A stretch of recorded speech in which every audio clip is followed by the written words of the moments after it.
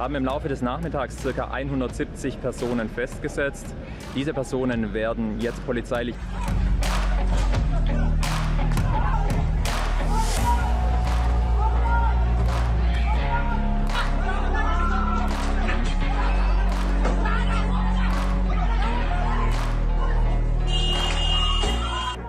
Das war ganz schlimm und gefährlich auch für alle, weil die haben alles äh, weggeworfen.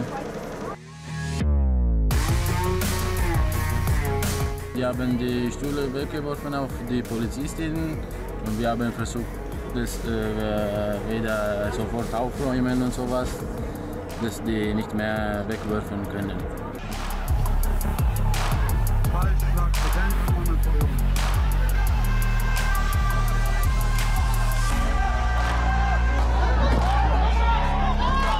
Die Veranstaltung an sich war von uns, von der Polizei bereits unter Beobachtung, weil es bei vergleichbaren Veranstaltungen im Bundesgebiet bereits äh, Störungen gegeben hat.